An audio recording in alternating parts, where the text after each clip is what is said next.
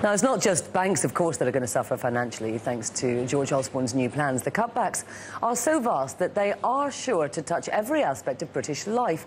But will there be gain after all that pain? Well, for more analysis, I'm joined now by John Gieve, a former Bank of England Deputy Governor and Financial Stability Chief. Thank you very much for uh, joining us here on The Pulse. If we can just look at some of those headlines after um, the, uh, the spending review talked about what a gamble this was for the UK. You know, we don't know quite what the welfare bill will be or what interest rates will be. Is this a big gamble that George Osborne's taking? Well, what he did um, in the last few days is to deliver the detail mm. on the budget that he, that he pronounced in June. So, if you like, the only macro decision he took was not to soften that set of numbers he announced mm. in the early summer. And I can understand that because um, having said he's going to make a big impact on the deficit, I think it would have looked weak and weak to markets and politically then to say, oh, well, maybe we're drawing back. So in that sense, it's not a new gamble. Mm -hmm. But, um, but is it still a gamble? Well, it, you know, the deficit reduction depends on the economy growing from now on in and the recovery continuing. And that looks a bit less certain now than it looked in the summer. It also perhaps looks more likely that the Bank of England role is going to be more important in making that happen. Is QE now more important than ever?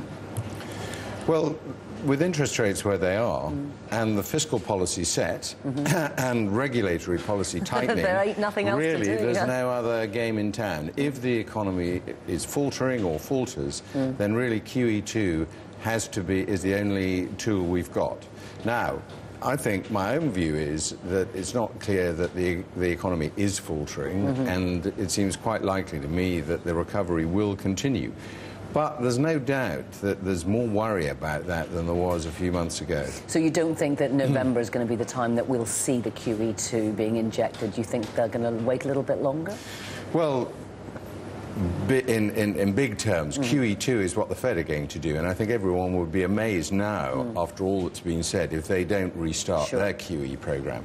So the real question is, does, uh, does the Bank of England follow on a day later, mm. Or does it wait for a bit more evidence on how the economy is going? Mm. Um, I think I'd be voting for uh, giving it a bit more time. But of course, I haven't seen the Bank of England's new forecast, which they're looking at at the moment. So it'll be very much driven by their view on whether the uh, output is going to grow under its own steam, if you like, well enough over the next two years. What is quite interesting at the moment is this relationship between Mervyn King and George hmm. Osborne. I mean, Mervyn King uh, has already said that he endorsed the deficit cutting measures. Um, it is, of course, the Bank of England Policy Committee is supposed to be very, uh, very much separate. But do you think there is slightly more of an American Fed-like role where there's a little bit more of an interest in social policy than perhaps there was? Well, I don't think Mervyn's um, endorsed the detail, if you like, the political choices on how to cut the deficit. He, he just said that he was mm -hmm. he, he, thought that someone needed to get a firm grip on it. Mm. Um, this is very interesting. When I was on the MPC, I never got rung up by the Treasury and encouraged to vote this way or that way. In that sense, and I'm sure that remains the case, it mm. is entirely independent.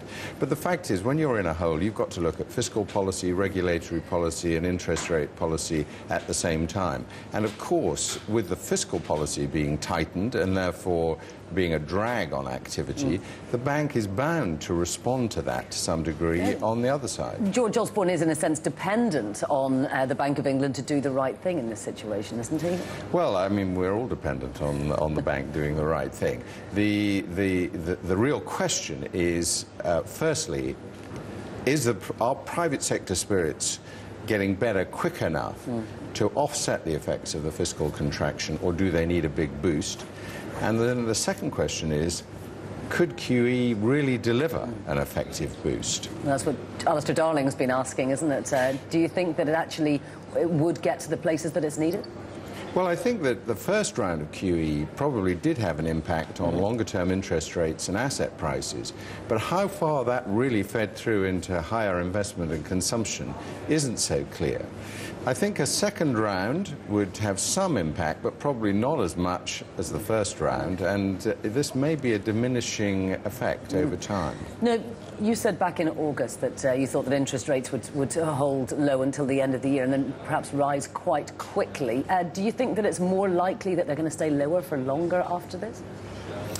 Well, since I said that, the the evidence on activity has been a bit weaker. Mm. So obviously that's pointing to lower interest rates. The point I, would make, though, and I still hold to, is if this turns out to be uh, just noise in the data and the mm. recovery continues, as it usually does after a recession, mm. then actually we will see interest rates rise faster than people are currently discounting. But of course, there are several ifs in that. Indeed. John Gieve, thank you very much indeed for joining us this morning. Nice to see you.